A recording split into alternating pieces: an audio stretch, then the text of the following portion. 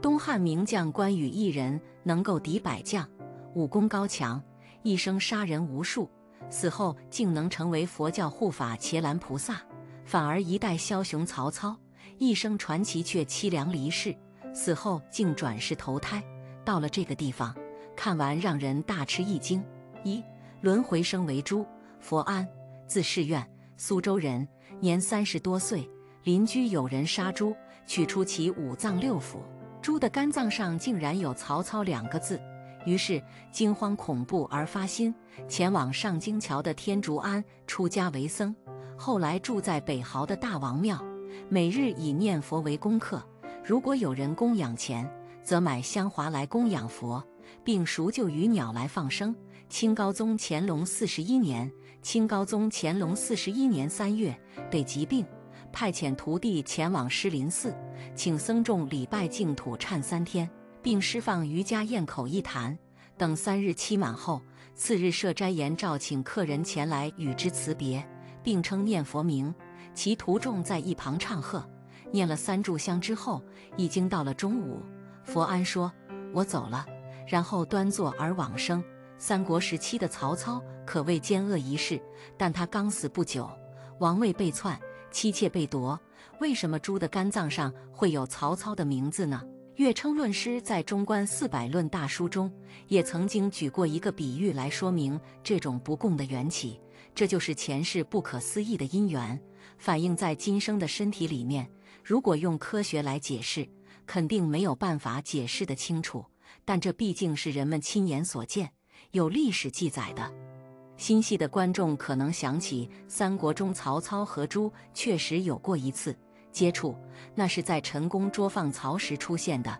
曹操刺杀董卓失败而逃亡，在中牟县被县令陈宫抓获。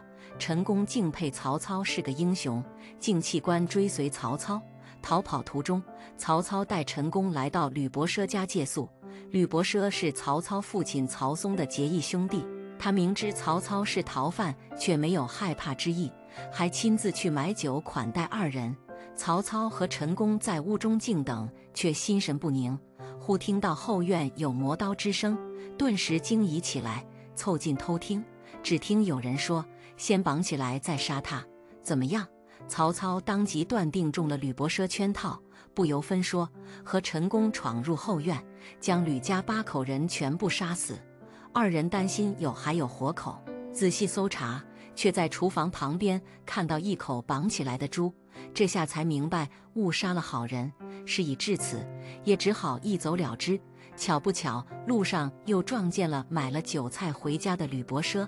曹操心狠，趁吕伯奢不注意，又将其斩杀，然后又踌躇满志地说出了他的厚黑名言：“宁叫我负天下人，休叫天下人负我。”陈宫这才领略了曹操的人性，原来和董卓是一路人，均为大奸大恶之徒。这个故事里，曹操因为一口猪而大开杀戒，恩将仇报。猪的肚子本来没有刨开，刨开以后发现了上面的字，这种奥妙是任何科学无法解释的，但在佛教里却有这样的因果规律：即使造了一瞬间的恶业，果报也会无穷无尽。曹操很有可能就是曾经在地狱道、恶鬼道中受尽了苦难，才转生成了猪这种贪吃的牲畜，最终还是逃不掉被惨杀的结局。因此，我们大家不要为了功名利禄而损坏名声，来破坏我们的来世，否则后果是相当可怕的。贪心是非常大的怨敌，无论你当时是多么的大富大贵，只要你有嗔恨心、有贪心，一念之差。你就进入了三恶道，即使你进了天道，当你享尽了所有的荣华富贵，享完了的时候，还是要堕入恶道的，终究不是长远之计。最稳妥的办法就是念佛了，脱生死，往生西方极乐世界，不要在六道轮回。所以，我们大家一定要明白，贪心成恶鬼，所以在恶鬼道的人，基本上是贪心重的人。一旦升起了贪心，当下我们就要制止住。一声佛号把它遏制住，这样呢，我们慢慢的修习，形成了一个习惯以后，我们的贪心自然就变得少了。二，因贪欲入地狱，竟如此痛苦，因果通三世，包括上述的曹操也好，皇上也好，总统也好，富翁也好，名人等等，你在大富大贵的人，只要你因为享乐造恶了，地狱面前人人平等。所以一切贪欲，比如说曹操的杀生、杀、盗、淫、妄、酒，这些都是我们所有的贪欲，我们的无名，我们的无知所造成的。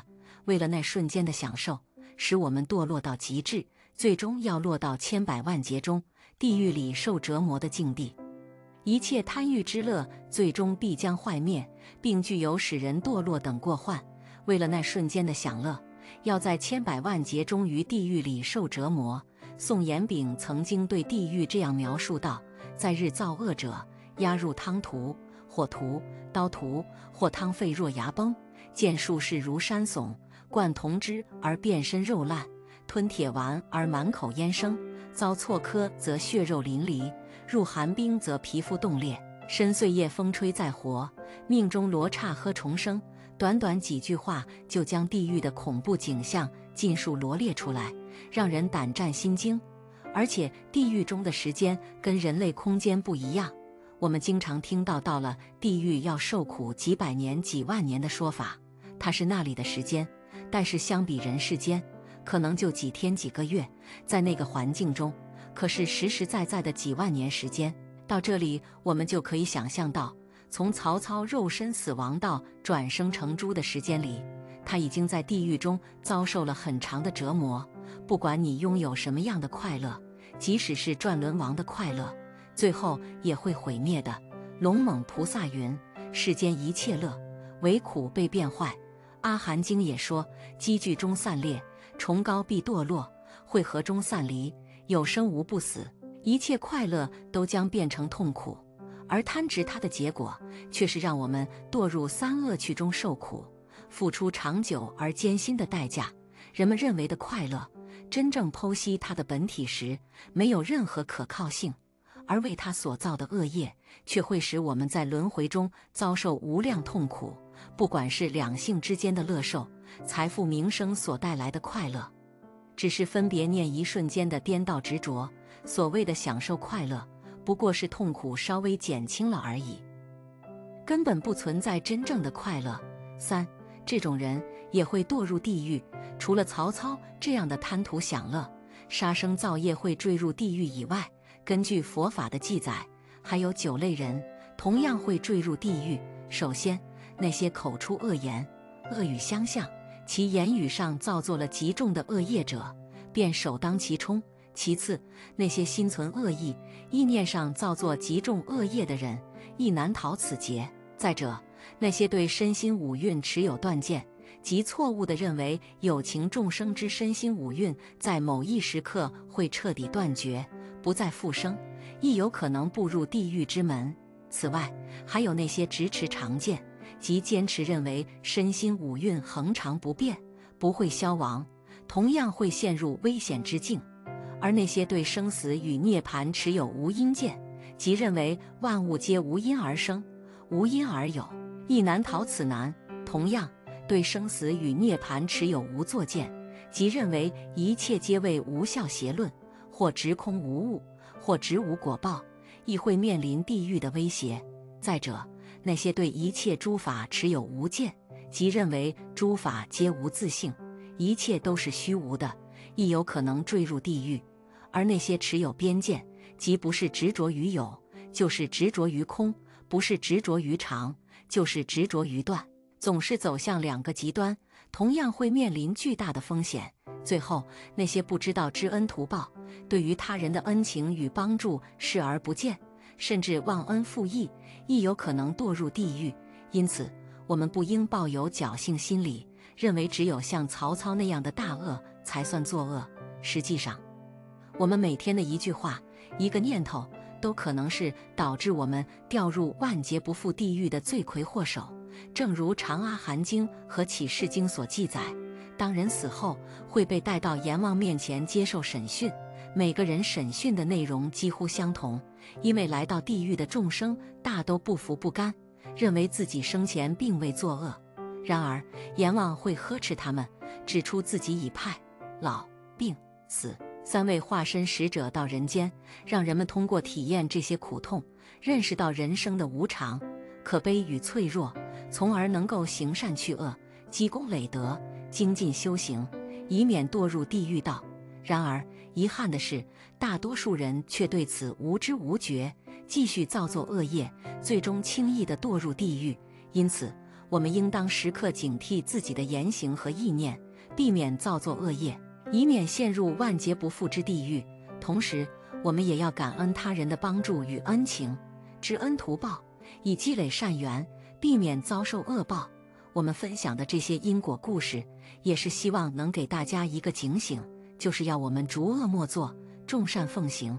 所以，希望能看到我这个视频呢，你能明理以后，赶紧的念佛、忏悔、回向、忏悔自己的造业，这就是对你的救赎。